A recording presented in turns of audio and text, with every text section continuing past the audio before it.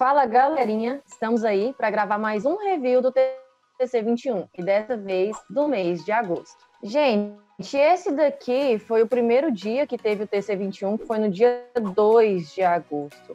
Então, foi um dia de game, a gente pode perceber. Depois eu vou mostrar a planilha do mesmo jeito, a planilha atualizada também, e o acumulado que a gente está no TC21. E daqui a pouco a gente já completa os 12 meses aí de, de review para a gente ver um resultado, né? Mas vamos lá. Então, o primeiro dia aqui, a gente teve apenas duas negociações. Uma pegou os três níveis de, de reposicionamento. A primeira foi uma compra ó, daqui e veio até aqui, foi take, foi essa de 87 reais aqui, tá? Essa primeira. Uh, a segunda a gente já esteve vendido daqui, reposicionamos, né? Estamos no segundo nível e depois aqui o terceiro.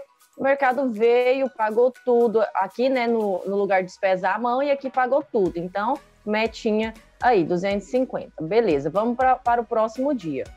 O próximo dia foi aqui, no dia 5, também foi game, foi três entradinhas aí com um contrato apenas. Primeira negociação foi de compra, que foi daqui até aqui, a gente já esteve vendida até aqui, né? Daqui com compra, na verdade, vem com compra, e aqui compra com venda aqui. Então, Alvo só trabalhou aqui, né? Metinha aí, foi as três entradas, 295 e 50. Próximo dia, vamos ver. Terceiro dia do, do TC21 foi no dia 9, foi um loss direto, tá? Deu um loss aí de 302,50. A gente teve uma venda, acabou dando um spreadzinho aqui, é aqui em cima, né? Uma venda daqui, reposicionamos, trabalhamos o terceiro nível e o nosso stop. Beleza.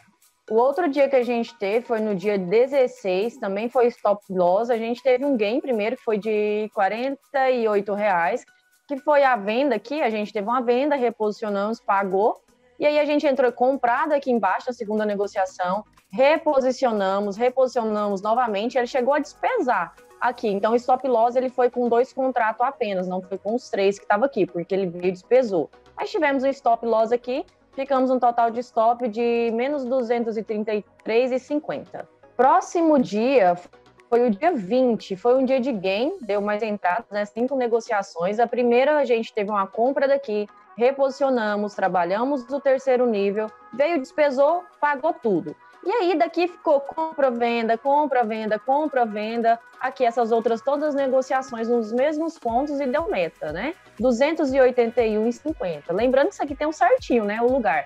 A gente sai de uma compra, já vem com a venda, e sai da venda, já vai com a compra. Então, beleza, foi um dia de meta. Dia 23, que foi o próximo dia, foi um stop loss direto. A gente teve uma compra daqui, reposicionamos, trabalhamos o terceiro nível, veio loss direto, 368,50. Beleza. Próximo dia também foi um stop loss e esse foi maior, né? Foi de 535 reais, foi direto também. A gente teve uma venda aqui, reposicionamos, trabalhamos o terceiro nível e foi stop loss direto, ok. Depois aqui a gente teve a gente teve meta, né? Tudo com um contrato que foi trabalhado tudo aqui nesse mesmo range também. Compra, vende aqui, ó. Por exemplo, foi uma venda, compra aqui, comprou aqui, saiu com venda aqui, e assim foi até dar a meta, só trabalhou nesse range. Então, uma meta aí de 267 reais. E o último dia, também foi meta, o último dia do mês, né, dia 31, a gente teve uma meta de 264 reais, e a gente trabalhou aqui a venda, veio aqui, comprou. Comprou aqui, saiu aqui. Aqui a gente ficou trabalhando, só que com compra e venda, né? E aqui a gente vendeu, trabalhando segundo nível e o terceiro. Aí aqui a gente despesou a mão, pagou tudo, que foi essa última essa negociação aqui, ó. A gente entrou vendida aqui, reposicionamos, saímos cheio aqui, e depois a nossa última negociação, que foi uma compra daqui, com take aqui. Então, as negociações em si do, do TC21, do mês de agosto, foram essas. Agora vamos para a parte de planilha. Gente, já adiantando, eu não não coloquei, ah, que compra, que vende, porque a galera aí que é do, do grupo, né, que é da família do, da LR Trader, dos trades em criação, sabe como que são as entradas. Para o vídeo não ficar tão extenso, tá? Mas dei até uma explicadinha aí. Enfim, essa daqui é a planilha, já dá para vocês verem que foi um mês que saiu um pouquinho no negativo, tá? Mas vamos entender como aqui que aconteceu. Vamos aí com menos 8%, né, do valor da meta É, primeiro dia, então aqui foi os 250, como eu mostrei para vocês. Os outros dias não teve, esses diazinhos aqui, né, que eu já coloquei em vermelhinho, rosinha aqui, foram os dias que não teve TC21. Então tá aqui o resultado, 250, depois no dia 5 foi aquele dia de meta de 295, no dia 9 a gente já teve um loss. Então tá aqui o loss. No dia 16 também que a gente tem um loss, eu coloquei aqui, menos 233,50. Nesse, nesse dia 19 aqui que eu coloquei uma observação, é importante a gente comentar. Por quê? É, nesse dia deu os requisitos para ter o TC21, que a galera aí sabe, né? Quem, quem tá acompanhando sabe quais são os requisitos. Porém, o range estava de 1.100 pontos, o range para trabalhar. Então, o range para trabalhar de 1.100 pontos, olha, 1.100 pontos, né, com um contrato. E se fosse estopar, é, daria, na verdade, aí o range ficaria 2.200, mais ou menos, porque o, o, lugar da, da estopação, né? Então, um loss disso daqui seria essa cerca de, de R$ 1.320. Então, a gente sabe que do gerenciamento do TC21, esse dia, mesmo tendo os requisitos para se operar, não era um dia favorável para operar. Então, tecnicamente, essa observação aqui também é um dia sem TC21. Depois, no próximo dia, que foi o dia 20 de agosto, a gente já teve também, foi meta. Depois, no dia 23, foi loss. No dia 24, foi um loss grande.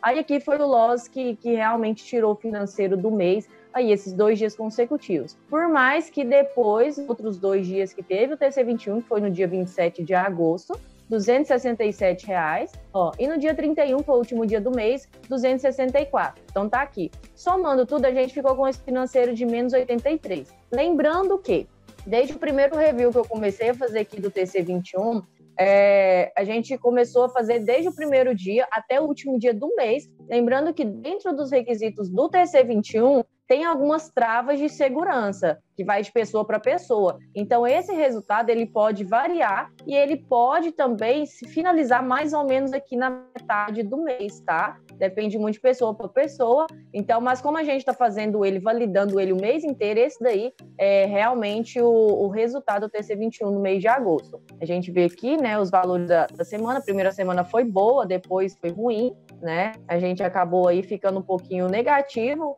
foram nove dias úteis, positivos foram cinco, mas teve o dia do negativo que foi maior.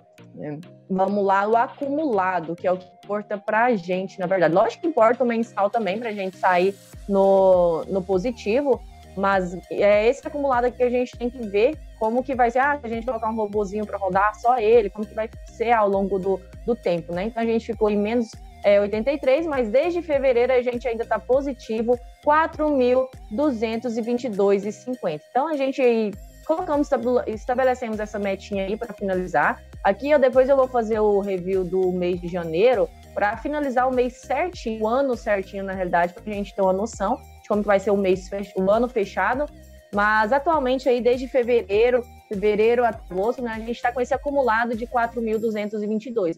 Para o, a quantidade né, que a gente coloca na conta para operar, a gente sabe que a gente está com um acumulado de muitos por cento em cima do capital que a gente opera, o TC21. Então, isso que valida muito também. Quanto por cento do seu capital você está fazendo? É, mas no final de tudo, vou mostrar essa questão de percentuais e tudo mais, mas só para vocês darem dar uma olhadinha aí como que foi. E esse daí, na realidade, é o acumulado né, do, do TC21 desse mês de com esse mês de agosto. Então tá tudo bonitinho aí, vocês viram.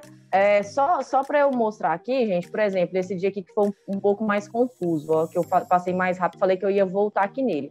Porque assim, ó, como ficou trabalhando essas linhas, a gente sabe que tem os porquês dela, né, delas. Então, como que foi o trabalhar certinho? Eu só falei que ficou trabalhando no meio do range, mas é só assim, ó. Vendemos aqui, saímos da negociação aqui. Compramos aqui, saímos da negociação aqui. Aqui a gente já vendeu, saiu aqui. Aqui a gente já comprou, saímos da negociação aqui e já voltamos vendido. Na venda a gente veio aqui, até aqui. Com essa compra a gente veio até aqui, que foi onde, opa, foi onde levou a meta, tá vendo? Então foi venda, compra, venda, compra, para lá e para cá. Do mesmo jeito desse outro dia aqui, ó. Que mostrei para vocês. Esse daqui também, ó. É compra, venda, compra, venda. Do mesmo jeito aqui, ó. Aqui, ó, que ficou, que eu falei que ficou compra, vende, compra, vende. Porque foi assim, até no mesmo candle deu outros takes, sabe? Ele ficou assim, ó, porque vai e volta. quando trabalha no meio do range assim, é o que a gente prefere. É o melhor para o TC21 na realidade, né? Então ele vai, volta, vai, volta, isso aqui é o melhor. Mas tá aí, só mais uma explicaçãozinha, caso tenha ficado dúvidas. E esse daí é o review do TC21 do mês de agosto.